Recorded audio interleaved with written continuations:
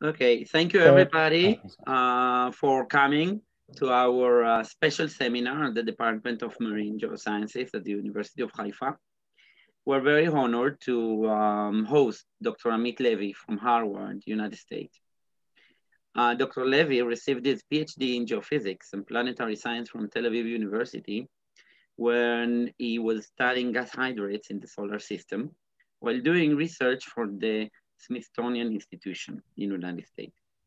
Following his PhD, he became a Harvard Fellow and later a postdoctoral fellow at Harvard Astronomy Department, working for the Origins of Life initiative and focusing on the possibility of habitability of ocean worlds.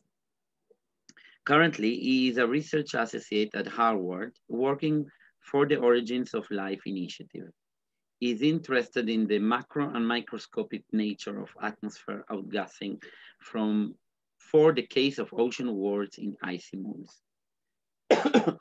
so today, uh, Dr. Levi will talk about the habitability prospect in ocean worlds. So thank you very much, Amit, and we're looking forward to hearing you. So thank you. Thank you. Thank you for the introduction. So uh, I hope you'll find this talk interesting and somewhat intriguing. Well, I am working for a group that's looking for extraterrestrial life. It's always nice to start with to give this the proper perspective.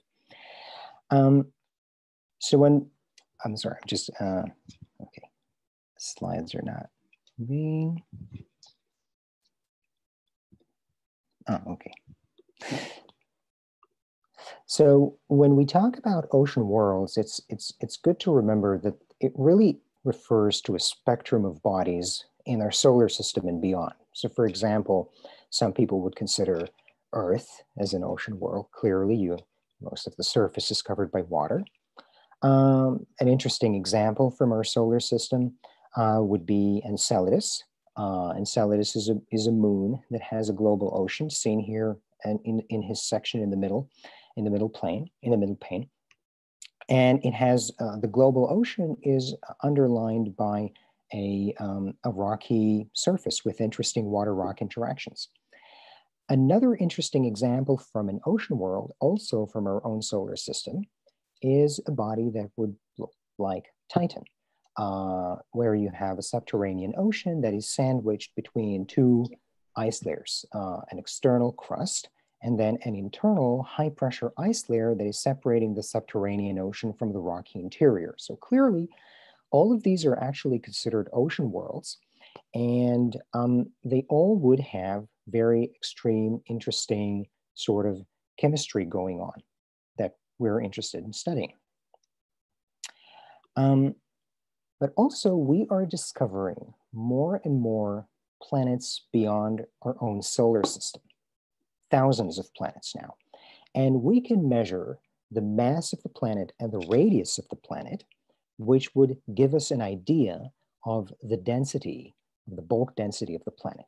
And the aim is also to study the atmospheres of these planets. And what we see here is some representation of the planets that we uh, are discovering. All these dots, they're just basically a whole landscape of planets.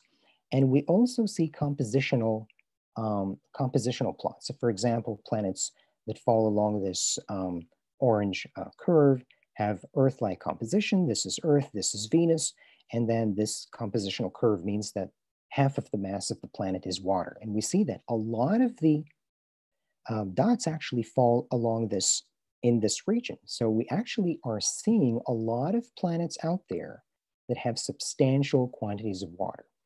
Uh, and they seem to be falling at relatively high masses. So they're more massive than, than Earth, but they're not as massive as Neptune. So we can call them mini Neptunes.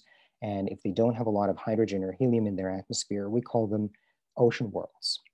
But we also think that there is an observational bias that we don't see really well very small planets. So we consider Earth to be a very small planet. And if we had uh, seen a lot of planets in this region, we would see that a lot of planets in this region as well could potentially have a lot of water in their uh, uh, interior, a lot more than what Earth would have. The reason for that is if you think about how planets form, then you, you, can, you can envision that as you have a protosun and then you have a disk of material surrounding that protosun. And if you're close enough, you're hot enough, and the material that really condenses is rocks and metals, is silicates and metals, and you would get a planet that looks like Earth. But the farther away you get from the protosun, you start condensing ice, and then you get more ice into the material that forms the planets. And the planet, My mother used to talk with me. Excuse me? Oh, is someone talking to me? I think someone just didn't have their, oh, their, okay, their mic on mute. If everyone could put their mics on mute. Okay. So if you form farther away from the sun, in beyond the region what we call the snow line, water condenses and a lot of water gets into the planetesimals that form uh, planet, forms planets. And people have run these sort of models for planetary evolution and planetary formation for various types of stars. And what we see is that around very low mass stars, stars that are less massive than our own sun, when you look at synthesis of what planets form, a lot of the low mass planets that form are predicted to have substantial quantities of water. So, and these low mass stars are very abundant in the galaxy. So what does that mean? Well, what it really means is that both in our solar system and beyond, oceans are basically everywhere.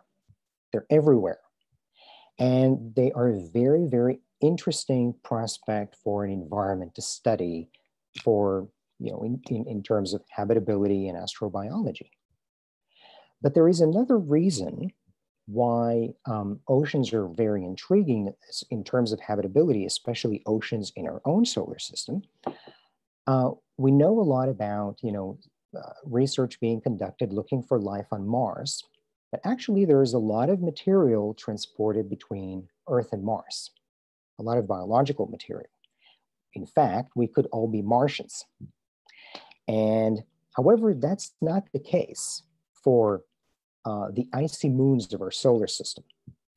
And there is a big drive to look for life, to, to study the habitability concept of life in, in, in the ocean worlds, in the icy moons of our solar system, because if we actually find life there, we would have a completely independent life evolving from Earth. It's independent from Earth, and it would be two instances of life formation in our own solar system. This would actually mean that there is that would be a very substantial step forward in proving that life is a cosmic phenomenon rather than something that's unique to Earth. So ocean worlds in our solar system and in general are very, very interesting um, uh, places to look for life. Now, uh, I talked about the spectrum of ocean worlds, and it's a very wide spectrum. And for the rest of this talk, I actually want to talk about, I want to concentrate, I want to focus on a very particular type of ocean planet, the one that resembles uh, Titan.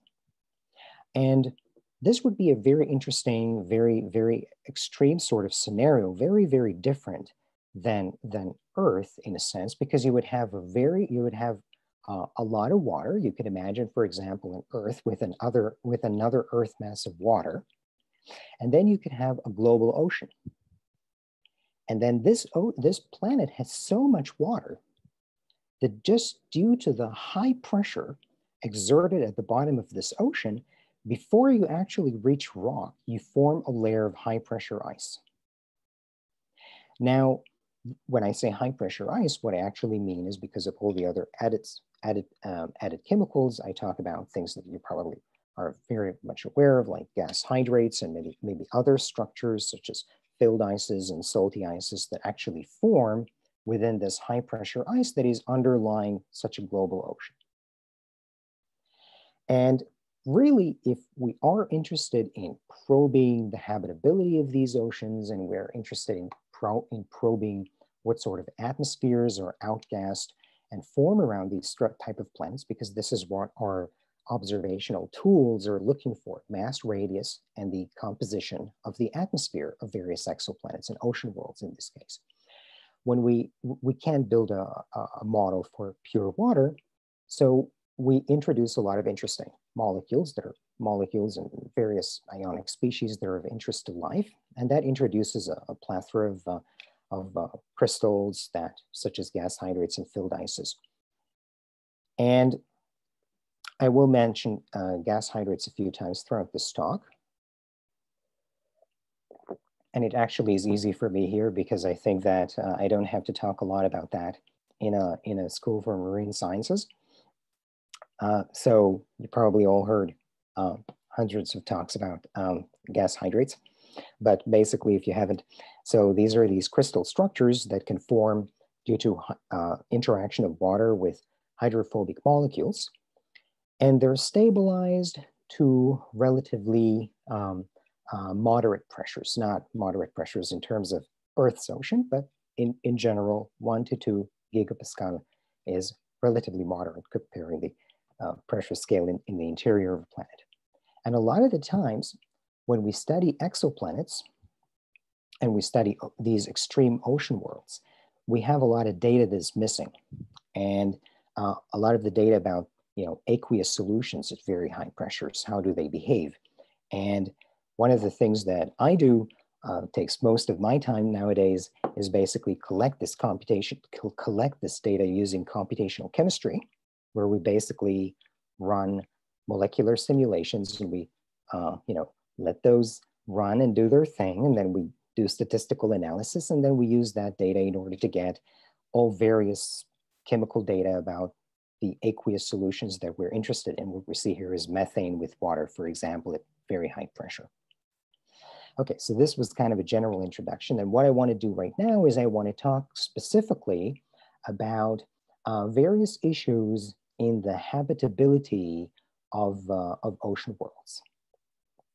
And one of the, one of the key um, criticisms that people have raised um, about the habitability of ocean worlds is that if, if you have an, a planet that has so much water and has no uh, continents um, popping up at the surface, then it has no silicate weathering mechanism. And that mechanism stabilizes the climate on Earth. So probably these planets don't have a stable climate. And if that's the case, then maybe they're not habitable just because they're not stable. And I think it's interesting to, to remember that when we talk about these, you know, extreme environments, extreme, these could be very, uh, uh, very abundant environments in the galaxy, but we have to really think that they may have their own mechanisms of perhaps stabilizing the climate. So how would exchange of CO2, if uh, may act to stabilize the climate in an, in an ocean world? This is an interesting question. If, if you don't have continents and you don't have silicate weathering as we uh, know it from Earth, then how, how uh, what sort of interaction would CO2 have in, in, in, ocean worlds? So the first thing that um, is interesting to look at is the water CO2 phase diagram. So this would be the pressure scale and you go into the planet uh, in this direction upward and the temperature. And this would be where water is liquid. And this shaded region is basically where uh, gas hydrates are stable uh, with a water-rich uh, liquid. Gas hydrates of CO2 in this case would be stable with a liquid that's very rich in CO2 as well. And as you go up in the pressure, basically you go into the planet, you can reach the, the seafloor of this planet, which in this case would be composed of, as I said before, you have enough water in this planet. So you'd have a high pressure ice layer. And it's not unreasonable, cosmochemically speaking, that the surface, the, the bottom surface of this, of this planet would actually be composed of gas hydrates or other uh, sort of these structures that I've, I've mentioned before. And one of the things that you probably know about gas hydrates is that they impose a, a strict condition on how much CO2 needs to be dissolved in the ocean for them to be stable, right? They have a saturation condition they impose in the ocean. You don't have enough of that CO2 dissolved in the ocean, basically the gas hydrate would dissolve into the ocean and release that CO2 as we see, for example, for methane hydrates in, in Earth's ocean. And these gas hydrates of CO2 are actually very, very dense, unlike methane hydrates that are have a very low density, gas hydrates of CO2 are very, very dense. And if you put a, a block of gas hydrate somewhere here in the, in the ocean, it would actually sink to the bottom of the ocean. That is, uh, yeah, so it would sink to the bottom of the ocean. If that is the case, if you had an ocean where it's very, very deep ocean, could be tens of kilometers in depth, and you had the seafloor that's composed of gas hydrates of CO2 that impose a strict restriction on CO2 saturation in the ocean, how would CO2 uh, fluxes look like um, between the atmosphere and the ocean? Well, there are two general ways um, uh, that you would consider such a flux, and that is that um, you could have a wind-driven circulation that would exchange CO2 between the deep ocean and the atmosphere by mixing the ocean. And if there is an ice cap, then that could perhaps be an interesting mechanism for reacting with the CO2 in the atmosphere. So let's look at these two mechanisms and see how they would behave. So people have done research into uh, uh, winds and wind patterns. If, if Earth, for example, had no continents, how would uh, wind patterns look like? And then how would, for example, uh, the wind patterns would affect the convergence and divergence in the upper ocean.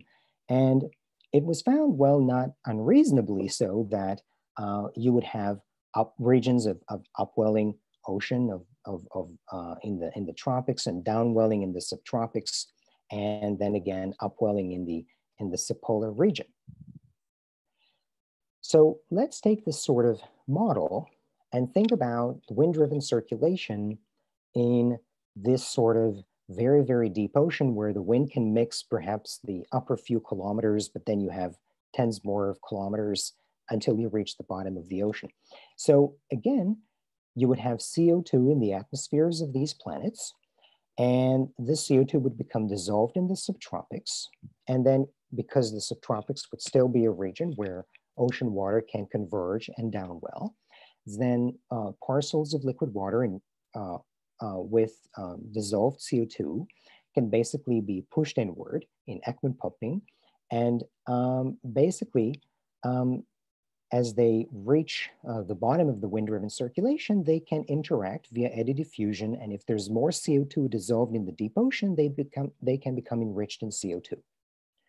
And then as they upwell in the subtropics where surface water diverge, they can basically release that CO2 in, back into the atmosphere, and we can figure out the flux of CO2 as, between the difference between the, the CO2 that goes in the subtropics and the CO2 that comes out at the tropics.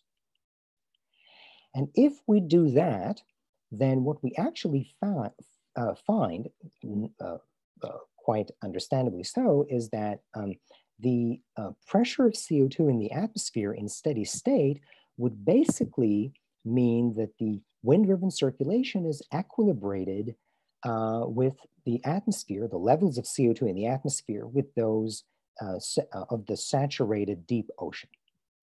And what that would mean that depending on the temperature of the deep ocean, you would end up with tens of bars of CO2. The, the reason you end up with so much CO2 is that, remember, the condition is such that the bottom, uh, the seafloor of the of this deep ocean is, in this case, assumed to be composed of gas hydrates. And these gas hydrates impose a lot of CO2 or uh, discharge a lot of CO2 into the ocean. So you end up with atmospheres of tens of bars of CO2. And the question now becomes, okay, so if indeed you uh, have so much CO2 in the atmosphere, uh, what would happen if you had an ice cap? And this is really interesting. And, and we have to, to ask ourselves, what uh, do experiments tell us would happen if you have tens of bars of CO2 in the atmosphere and you would have an ice cap floating at the surface of the ocean at low pressure? And what experiments tell us is that high CO2 pressures can actually drive the formation of gas hydrates. So you don't have enough CO2 in Earth's atmosphere to actually convert um, um, sea ice on Earth into gas hydrate. But if you have a planet that pumps a lot of CO2 into the atmosphere, that actually becomes a really interesting uh, sort of mechanism where the, the sea ice can transform into gas hydrate. And we always have to think about these unique sort of situations when we're thinking about planets that really don't behave uh, much like Earth. And as I've said before, gas hydrates of CO2, unlike methane hydrates, are very, very dense. So what would actually happen is that if the wind-driven circulation would pump a lot of CO2 into the atmosphere, a lot of that CO2 can actually start con uh, converting the ice cap into gas hydrates of CO2 that then becomes really, really dense. And we can figure out after uh, what is the critical density that they need, how much of, of the ice needs to convert into gas hydrate between and before the entire ice um, uh, cap becomes really gravitationally unstable and, and parts of it start sinking just because it's so massive. And we can, because all mechanisms would work simultaneously, both the wind-driven circulation and the ice cap, then we can write this sort of equation for how does the, uh, the abundance or the atmospheric pressure of CO2 in the atmosphere changes with time, considering that you have this wind-driven circulation and the ice cap mechanism for basically uh, uh, being transferred into gas hydrates and, and acting as a mechanism for sinking of atmospheric CO2.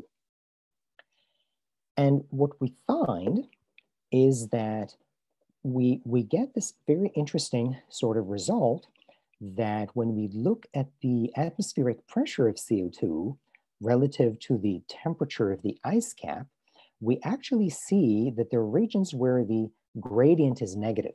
So there is a, a, negative correlation between the CO2 pressure in the atmosphere and the temperature of the ice cap.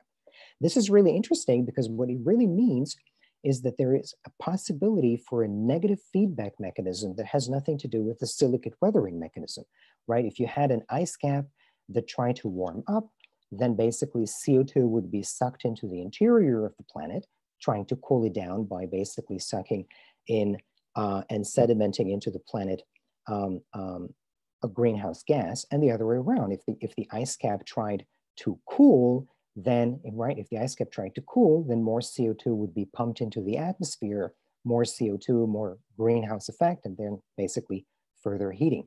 So there is a mechanism that wants to stabilize um, the ice cap on these planets that are basically ocean worlds. They're completely covered with an ocean, and they may have this possibility where if there is an ice cap, this ice cap may be stable.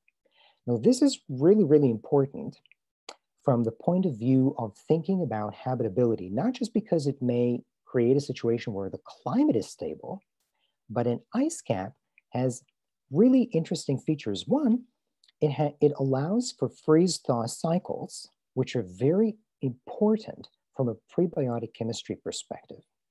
And within the pores of the ice cap, I will return to this point um, um, in, in uh, the next few slides.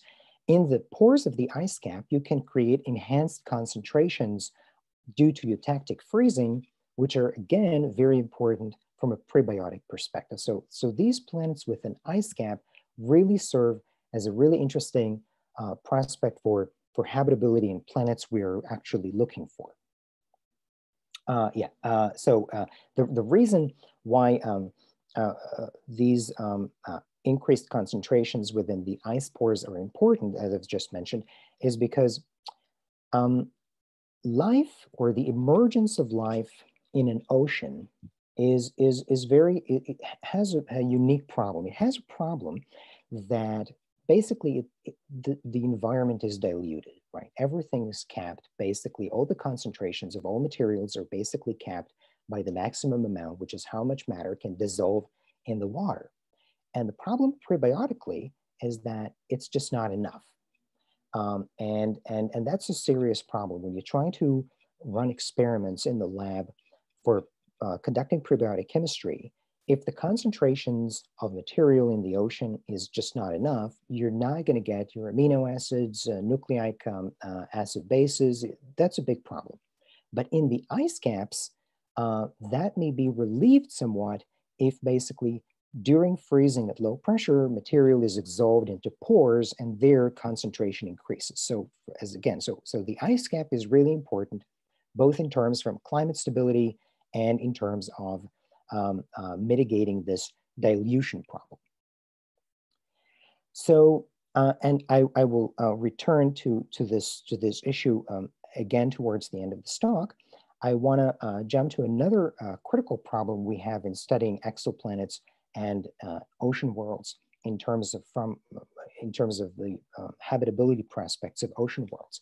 So again, when we talk about habitability prospects, we want to understand from the point of view of what we know about prebiotic chemistry and the evolution of life, um, we want to know basic things like, for example, what is the salinity? What is the pH of the environment? How would we go about to study these things for something that, well, in Earth, we can actually go out, we can take a sample. How would you do that for, uh, for an ocean planet? So the interesting point is that so I so how would you how would you actually uh, uh, get an idea of what the salinity and pH would be? And we can solve for um, the planets for exoplanets. We can solve we can uh, uh build models for uh, the thermal evolution and heat transport in the interior of a planet.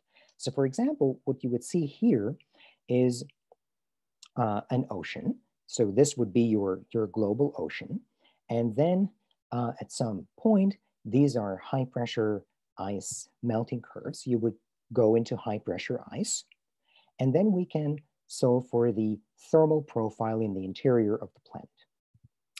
And it's, it's maybe not uh, very um, uh, easy to discern from this particular figure, but you can see that um, uh, there is a region when, when you solve for the thermal uh, evolution and thermal models in the interior of, um, of such a planet, you see that at the seafloor, the seafloor is actually pretty much constrained to the melting curve of high pressure ice. What does that mean? If, if we look at this sort of cartoon, uh, you can think about an ocean, and then as you go deeper into the ocean, you reach very high pressures where water freezes, just due to the high pressure. And you form high pressure ice layer, a boundary layer. And underneath this boundary layer, this thermal boundary layer, there is convection going on. And this convection goes on in high pressure ice. Now, the fact that the thermal boundary layer, the seafloor, is confined to the melting curve of high pressure ice, what it basically means is that uh, it, you constrain the temperature gradient. Now, from basic physics, if you constrain the temperature gradient, what you are constraining is the thermal conductivity. Uh, so how much heat you can act, not the, the, the you, you constrain your ability to conduct away heat. So in these types of planets, if, if the ability to, to conductively cool through the ocean floor is constrained, what may happen is that high pressure ice uh, is can convect uh, uh, and reach the, the, the bottom of the ocean. And then basically, because of the inability to conduct away uh, accretional heat and radioactive heat from the interior of the planet, it would actually discharge hot water. This high pressure ice would actually melt and discharge hot water into the interior. And in the steady state scenario, uh, cold ocean water would actually solidify. So basically what may happen in these types of uh, very bizarre planets that we see out there is that there is a mechanism where high pressure ice melts and there is a solidification. So there's a melt and then solidification of cold ocean water uh, happening, uh, cycling in this planet. This melt and solidification cycle is very, very important. The reason it's very important, and it, it really helps us to understand what the salinity of these planets may be. Uh, and the reason is because there is a very big difference between uh, how um, a brine solution would act in low and high pressure. It has a very, very different behavior. We know, for example, that at low pressure, uh, when you freeze water, it tends to exsolve out the, the ions and you have a liquid solution that remains very, very salty, and the, the hexagonal uh, low pressure ice is relatively uh, devoid of salt. That's not the case for high pressure. At high pressure, what would happen is exactly as we see in this plot, the ions, these uh, yellow and green uh, balls uh, represented by these yellow and green balls here actually become basically uh, compressed into the solid. So when high pressure ice freezes, it actually entraps all the ions. But that's true for high pressure, and it's also true as long as the temperature is not too high. If the temperature gets too high, then from a thermodynamic perspective, okay, from a thermodynamic perspective, uh, what happens is that um, actually these ions tend to exsolve out of the high pressure ice and form uh, pure crystals of salt, for example, halite, if you're studying, if you're looking into uh, experiments into sodium chloride. So if we go back to this thermal, uh, thermal modeling of interiors of planets, this would be the high pressure ice mantle. We certainly exceed these high temperatures. Uh, so what does that mean? So again, I think it's, it's easier to, to understand if you see this sort of uh, cartoonish uh, representation of what the mathematics actually tells us. But what it means is that during the smelting and solidification process, what we think may happen is that high pressure ice at high temperature uh, that is devoided of salt because of the high temperature, the salt cannot go in even at high pressure, basically reaches the seafloor and discharges water that's hot and relatively uh, uh, devoid of salts. But then at low temperature uh, and still at high pressure, where water, ocean water resolidify, they actually capture a lot of ions from the ocean. And then this is folded, there is a ductile folding, and this folds into the interior where as the high pressure ice reaches higher temperatures, it would actually start exsolving out the ions out of the high pressure ice. And these very um, uh, dense crystals would sediment to the rocky core. So you have um, uh, material devoid of, of, of these uh, ions coming out and material very rich in these ions coming in. So the result is that what you actually have is a pump at work and how fast this pump actually works, or it's, it's a pump that desalinates the ocean. So how fast a pump like this would work really depends on the mass of the ocean and the rate with which you are melting uh, high pressure ice on the one hand and resolidifying parts of the ocean on the other hand. And it also depends on the fractionation factor of salt um, um, um, hydrated um, uh, uh, uh, salt that is uh, dissolved in water relative to how much salt can become dissolved in high pressure ice. What is the fractionation factor at high pressure? If the ocean floor is composed of uh, what we call ice 7, which is a particular form of high pressure ice that has many voids, then this mechanism acts really, really rapidly. If a different crystal structure forms, which is um, ice 6, this mechanism is still working, but because of the different fractionation factor of the ions, it's working less effectively. But what we think, it less effectively, but still over um, in a time scale that is far less than you know billions of years, which is the age of the planets that we are observing in, our, in other solar systems. So what we think is that we end up, because of this desalination pump, we would actually end up with oceans that have a maximum concentration of salts that are measured in the millimolar. So it could be that these planets have very low levels of salinity. So, that, so they could be, so these oceans could be very rich in volatiles because gas hydrates discharge their, um, their um, content into the ocean and, and make sure that uh, this, these environments um, uh, are very rich in CO2, for example, or methane, or various types of other uh, components that can go into gas hydrates, but they could be very poor in salt. And if that is the case, well, we can do uh, something very easy that probably uh, all of you have done before and basically have solved for the speciation of the carbonate system, assuming that um, you have a very low salinity. And this actually uh, goes around this uh, problem of carbonate alkalinity because we can't measure it. Of course, we, we're not traveling to these exoplanets, so that's, this is actually a good result.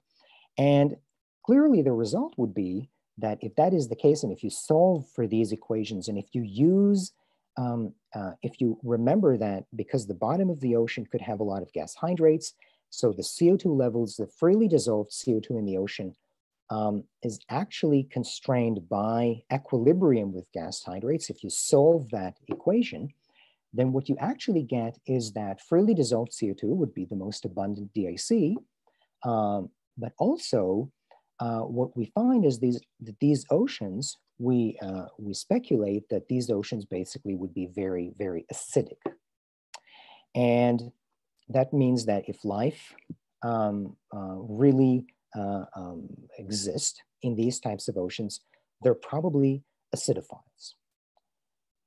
And if we demarcate the, this region of low acidity and low temperature uh, on a polyextremophile plot. So what we see here in this polyextremophile plots, all these dots are basically these niches that life um, basically um, um, captured uh, and, and thrive at in various locations on Earth.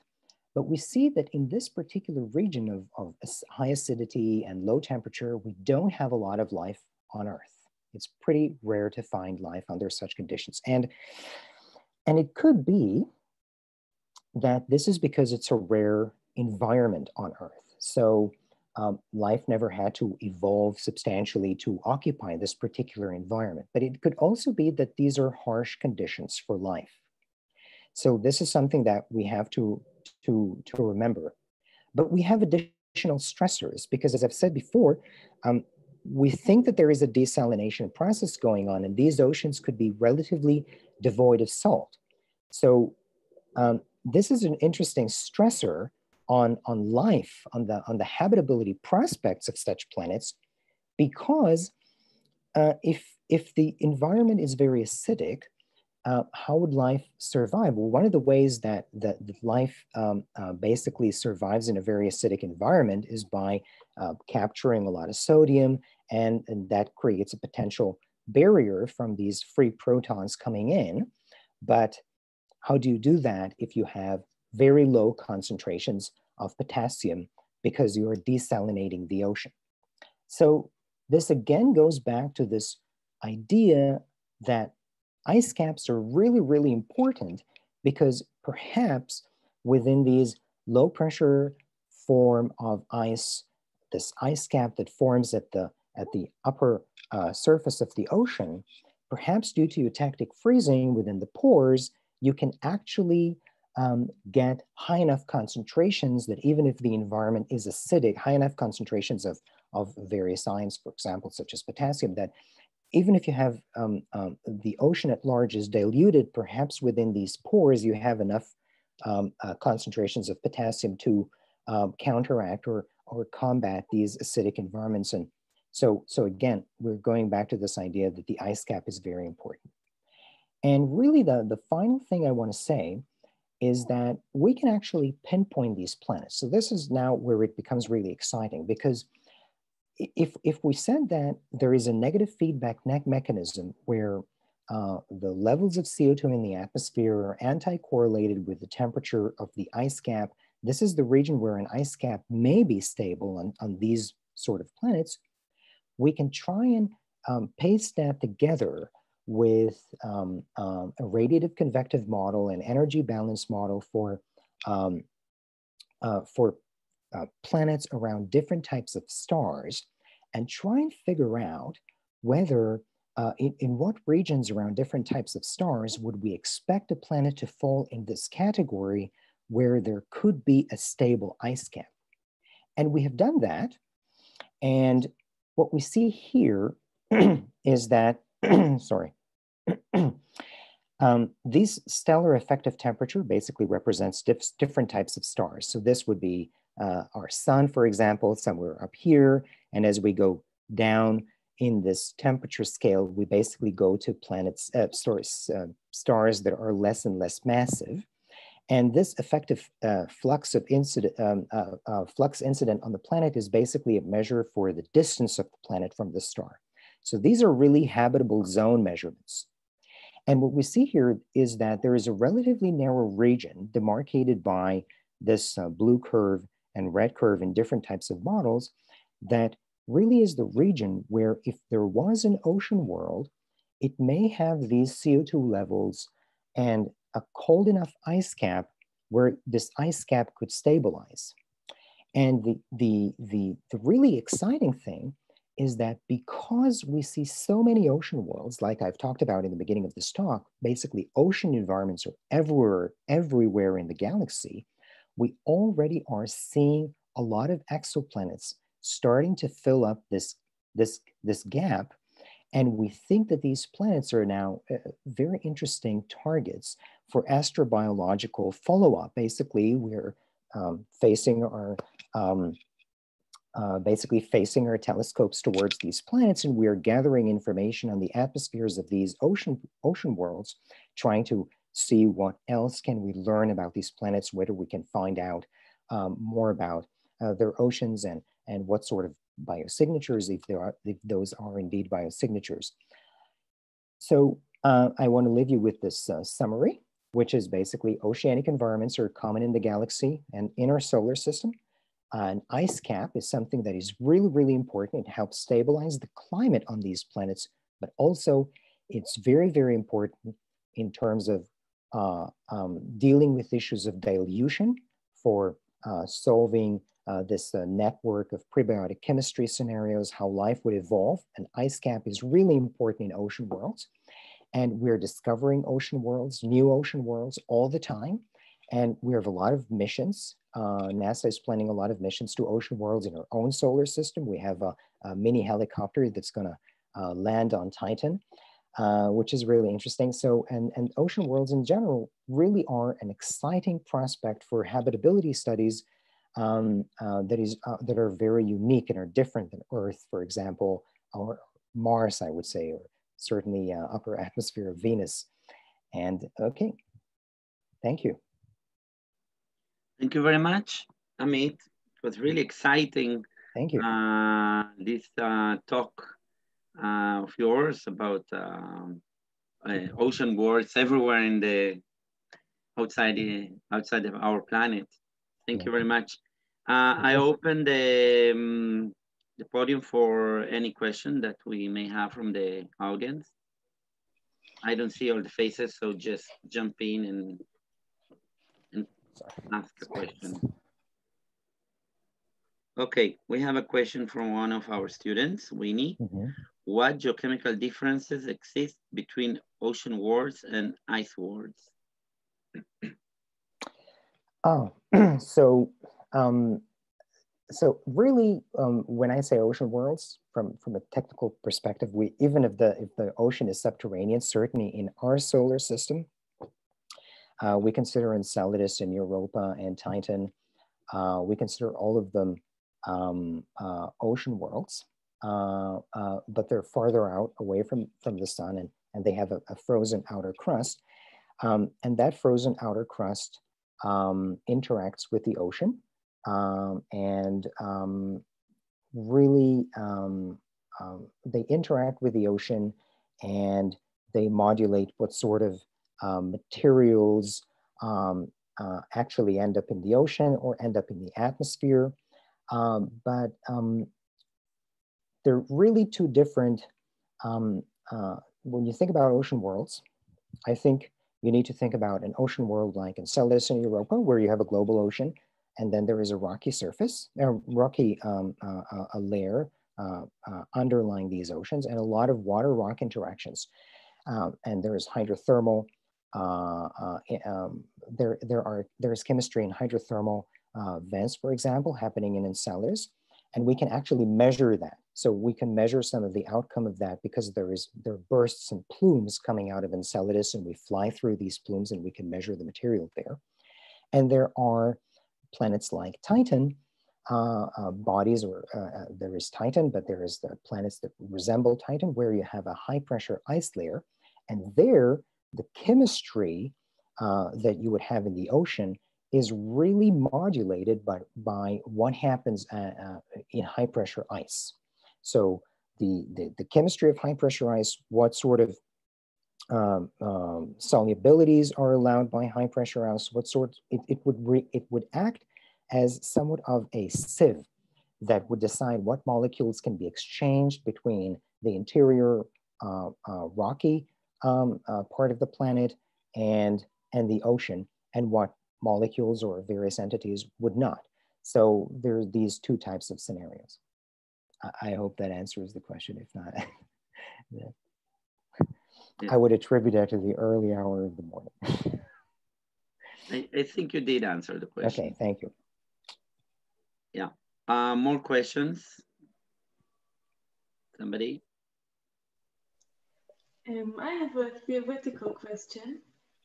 Um, do you think, in your opinion, any of these ocean worlds would be an alternative option for human hab habitat? Oh, like what they're researching in in Mars or in other planets? I'm not sure. I mean, if you just to just to um, well, you know, there is, um, you know, Elon Musk talks a lot about, you know, mm-hmm. Going out there to Mars, but I think that you have to. Uh, I mean, I don't even think that Mars is really.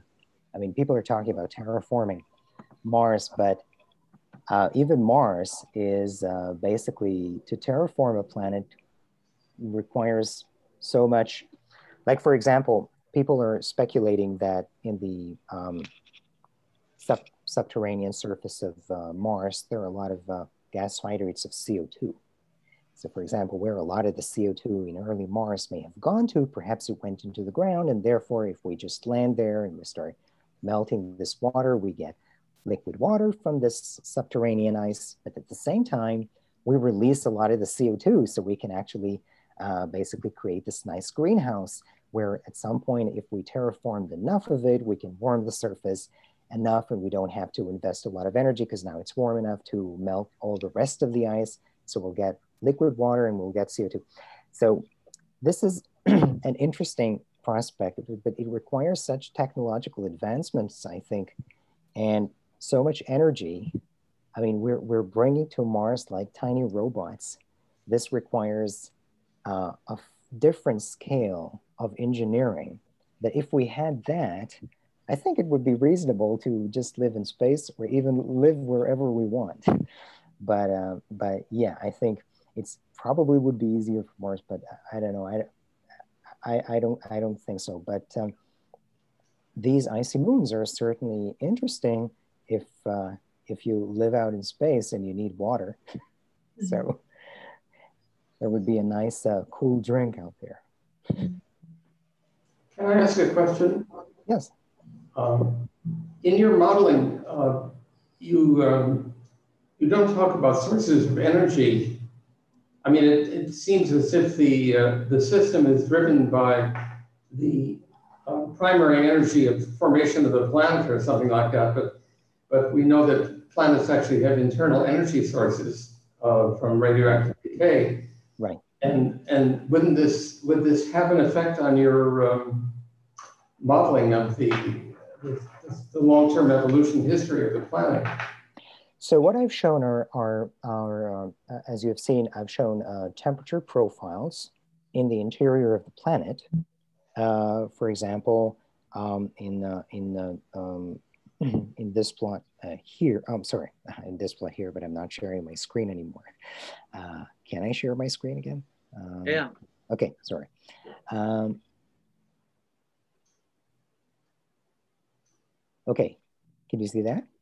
Yeah. Yep. Yeah, so for example, uh, in this particular uh, model where you see here the, the adiabatic uh, thermal profile in the interior of the planet, so um, the internal sources, so to solve for these uh, thermal um, uh, thermal profiles in the, these um, um, blue curves here, to, so, to get these thermal profiles, thermal temperatures, you actually need to, to, to account, and this is what uh, we have done, what I've done is, uh, uh, what we have done here is that you have to account for accretional heating and you have to account for radioactive heating as well. So this is uh, uh, taken into consideration. It's a very important source of, of internal energy. Of course, as the smaller the planet is, the, the, the more uh, radioactive heating is important relative to accretional heating. And and uh, you, you really have to take that into consideration and it has a big effect on the dynamics in the interior of the, of the planet. So these heat sources are indeed uh, taken into consideration. Okay. Um, more questions? I ask some uh, question. Um, what kind of uh, what kind of information can we ocean scientists and I guess particularly deep sea ocean scientists uh, provide that would be that would interface with this work? Yeah, this is a really interesting. This is a really interesting question. So, uh, there are two things we have to keep in mind. One is uh, we will never have Earth quality data, right? These are planets far away. We, we invest a lot of time into a, a lot of work, a lot of money into building this equipment that will really look for the for every kind of molecule in the atmosphere of these planets. And, um, um, but really, uh, um, this is offset by the fact that we just will have a lot of these planets from a statistical perspective. We have an advantage in comparison to Earth that we just have a lot of these planets. And if we think something happens, it should happen in every type of situation according to our model, and we can test to see whether that's true or not, whereas Earth is unique in this sense. Um, but I think that um, in terms of oceanography of Earth, it really is important because we gather information on sort of what mechanisms are important uh, because we, we do have to sometimes build these more simplified models just because we, we don't have this level of information that you have for Earth. We sometimes have to build these, these models. We do need to try and figure out what, um, what mechanisms are more important than others. Why does Earth's ocean um, look the way it is? Why, what, why uh, is its composition? Why these ions and not others? Uh, are there robust mechanisms that, that control uh, the, the composition, for example, and are there other mechanisms we can, for example, neglect in, in, in, in our study of exoplanets? And then if this mechanism is more robust, then maybe we can use that and try to figure out how would that mechanism work in these alien environments and would it work? And then if that is the case, then what can we say about these planets? So it's, it's kind of this um, uh, double-edged sword in a sense. It's, then you have to remember that on the one hand, we'll never have the same level of information. So we can't really just take, um, um, you know, the complexity of, of the models for, that you build for Earth and implement them directly. But at the other hand, we, we have to learn from you guys what are sort of the robust things that are the most important things to look at and then try and see whether those would work under various really alien environments that exist, not just everywhere, but every type of environment exists. So you can change the water content in any way you think, and we will probably have these planets, right? You can have Earth with 10% uh, more water, or you know, twice the, the, the, the amount of water, or 100 times more, and we will see these planets. So this really is the, the sort of sort of information that a lot of times when I talk with people in, in the earth sciences, um, this is the sort of information that, that I'm uh, um, that I'm looking for. What are sort of the robust things that I need to consider to to really try and understand how the our planet works and how would that affect the atmosphere? That that's a key issue. How would that affect the atmosphere? Because that is going to be our main observable. The, the other question is, what about oxygen? you, you did talk about climate stability, and so you focused on the CO2, but you said nothing about about you said nothing about oxygen. How do you envision the oxygen content of those oceans? Actually, this is a really interesting question because oxygen is a prime biosignature. So when we're thinking about, look at, we're looking at these planets, we're thinking about, for example, oxygen in the ocean, but oxygen in Earth's atmosphere is related to life. So, um, so O2 automatically is um, something that we're looking for. And whenever we see oxygen in the atmosphere of an exoplanet, everybody gets excited, and we, are thinking this this planet gets upscaled in the in, in the scale of uh, potential habitability. so oxygen is a really interesting story.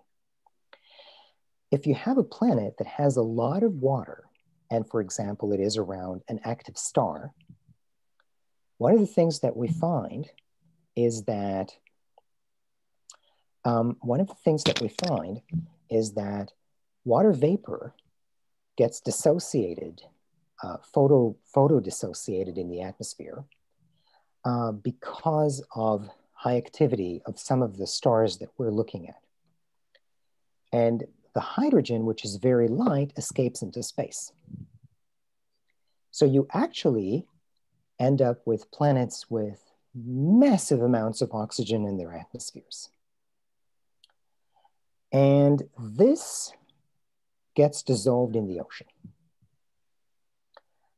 So one of the things that, uh, this is uh, work I haven't published yet, but one of the things I've been looking at is what, ha what's, what happens to oxygen um, as it reacts with water and ice under high pressure, uh, which you, at, at the pressures you would expect for for the planets that I've been I've been working on. But the same mechanism, for example, would work if you had like if you uh, if you had if you had less water. I mean, if you, even if you had like a rocky surface and you push the planet further in, and you know a lot of the water gets into the atmosphere, you you you you'd photo dissociate a lot of the water vapor anyway, and end up with a lot of oxygen in the atmosphere. But what I think happens is that a lot of the O2 you can you can um, you can calculate using computational chemistry the, um, the partitioning coefficient of O2 between the ocean and the, and the ice.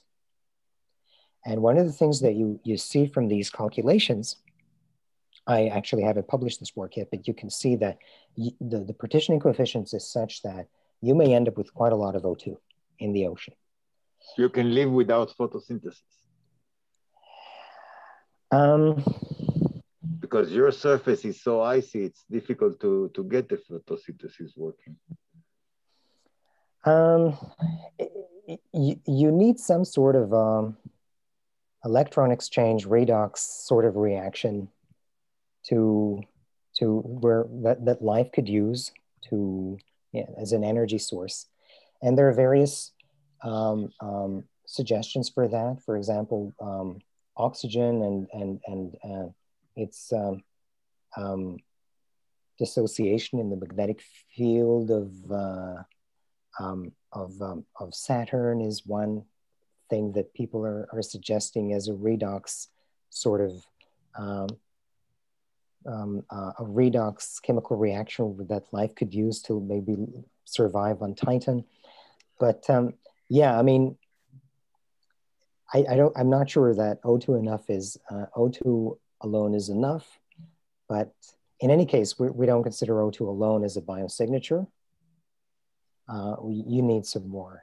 As you can see that we, one of the things that we, we have a problem in exoplanets is that sometimes if, a, if something is a biosignature on Earth, it's not necessarily a biosignature on another planet because it just forms due to the natural geochemical reactions forming on this planet. This is one of the things that we always struggle with is basically figuring out in these alien environments uh, what in Earth's atmosphere that we attribute to life uh, would actually form naturally on another planet and is actually not a biosignature. So this is a big problem that we're struggling. So the thing right now is that the, the, the general idea now is that we're looking for, for a suit of molecules uh, it's not a particular. So we're just not looking just for O2.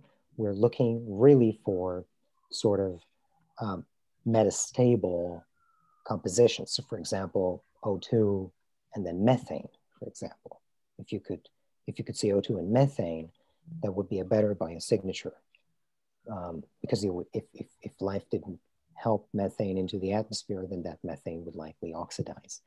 So we're looking for these metastable uh, atmospheric states. And we have to couple them with the interior of the planet, with the interior geochemistry of the planet to figure out what would come from the interior and what would, so it's a, it's a complex problem, as you can see.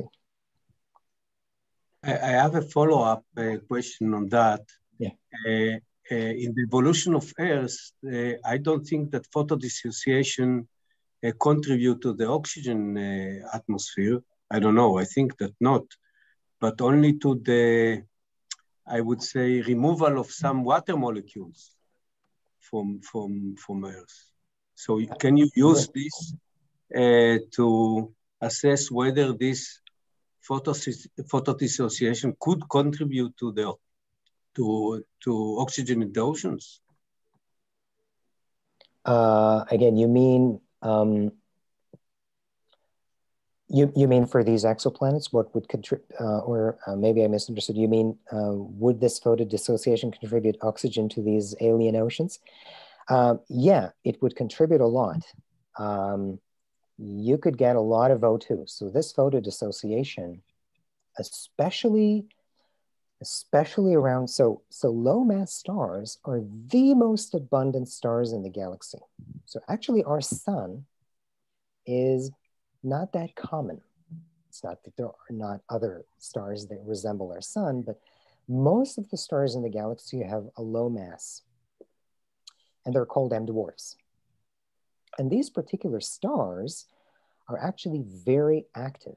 The, the initial 1 billion years of their life is very, very, they're very active from, from, the, from the point of view of, uh, of their, um, of their um, emission.